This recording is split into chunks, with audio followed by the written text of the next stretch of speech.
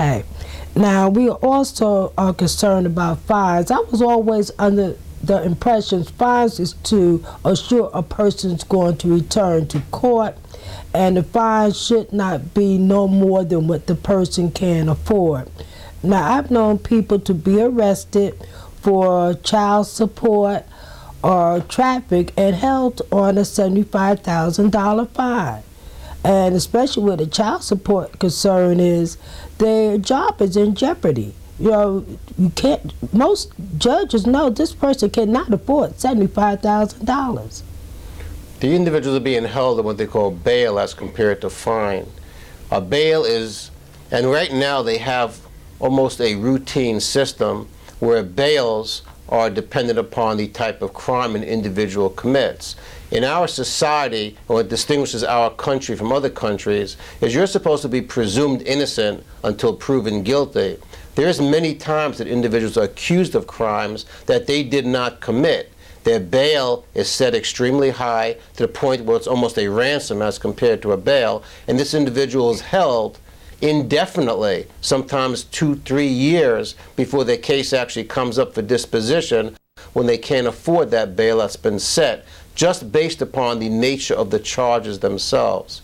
So there should be a system in place where judges should scrutinize and look a lot more carefully at whether there's a likelihood of this individual being convicted and not look at merely the nature of the offense and not say that, hey, because this individual is charged with this particular offense, then we're going to keep him in custody with an extremely high bail. I think judges, no matter what their prior record is, no matter what they've done in the past, I think the major criteria for setting a bail should be not only the nature of the offense, but the likelihood of conviction and how strong the proofs are.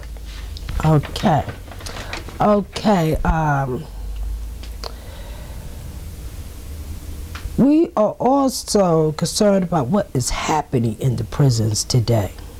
You know, uh, we also thought about maybe there should be cameras all throughout the prison. When uh, Judge Walton came up in March, he discussed about the rapes in jail. Well, they have found guns in our jails here in uh, New Jersey recently. Uh, this gang problem in jail. How can we prevent a lot of the abuse that goes on in jail?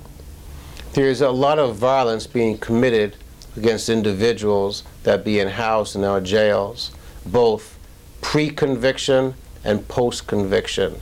What you need is you need correction officers that care, correction officers that are more concerned with the safety of the prisoners than their lunch hour or dinner hour. What you have is you have pods, you have tiers that are being manned. 100, you have 100 prisoners being watched by two individuals. You have cases where there's no cameras, like you stated, on those tiers, so that if something happens, the correction officer doesn't even know that it's happening because it happens in a private area, in a cell, at night when the correction officers are sleeping or they're short-staffed. What we need to do is, A, we need to hire more correction officers to patrol and watch those tiers. We need to take the correction officers out of a, essentially a cell themselves and make them patrol the tiers, be there with the prisoners at all times. And like you stated, I think that we need if we don't have enough correction officers to actually be in the tiers, be in the pods, be with the prisoners so they could watch them on a 24-hour basis, then we need to put cameras and have a central system where an individual is watching the cameras to make a determination as to whether someone's being assaulted or injured in prison.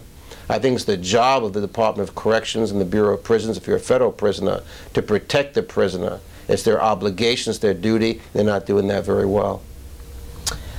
Well, I'm sure you're right about that because um, there are more problems in jail than it is on the streets.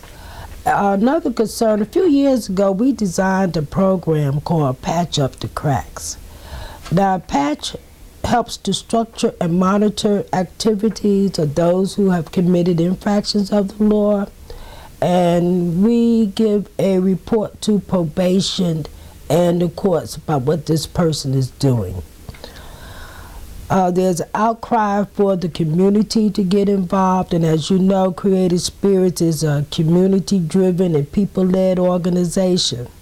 And we want to work with the courts so that we can help our community to overcome some of the difficulties. And they're telling us that they do not need the patch program. In the meantime, our youth are falling through the cracks. So we want to know how can we encourage the courts to accept these programs that they need them and also do you believe a person can overcome problems better by this type of intervention instead of going into these problem jails? I'm convinced that an individual needs a support system. They need individuals that care about them if they're to alleviate their problems, overcome them, and move on with their life. What we're doing is we're sending individuals out after serving custodial sentences into a society where they have no jobs, they have very little education, they have absolutely no means to support themselves or their families. So the only means and methods that they know so that they could eat, so that they could house themselves, so they could clothe themselves, so they could take care of their families and children, is to return to the streets and earn a dollar illegally. What we're not doing is we're not allowing the community into their lives so they have a support system. If we would have a mentor program, we would have, and many individuals that commit crimes come from single family homes, broken families. They don't have the foundation and that instills education in them. They don't have the foundation that instills values in them. And the only way that could, that could be done, because you can't do it with tax dollars, is to have community type programs like the Ministry of Justice, where you have mentors that associate themselves with individuals before they get out of the prison system and they assist them in learning what's right, wrong, a value system, at least someone that they could talk to, someone that they could turn to when they feel desperation, when they feel a need to return to the streets. You don't have that. You need better systems, better rehabilitation, where individuals are going into prison with drug problems. They're obtaining as much drugs in prison as they do out on the streets. So they're not alleviating the genesis of their problems, and they merely return from prison out onto the streets with that same severe addiction, which leads them to commit crimes to support the addiction. You have individuals that are gang members that in prison they actually structured where they remain with that gang and their fellow gang members.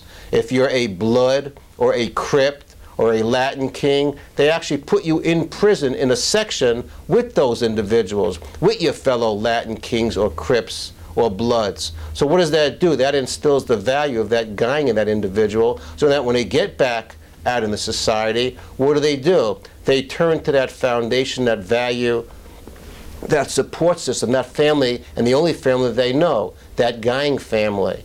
So what we're doing is we're creating revolving doors. What we need to do is we need to better educate, better vocationalize, and we need to have a support and mentor system for individuals to separate them from that caste system that they come from.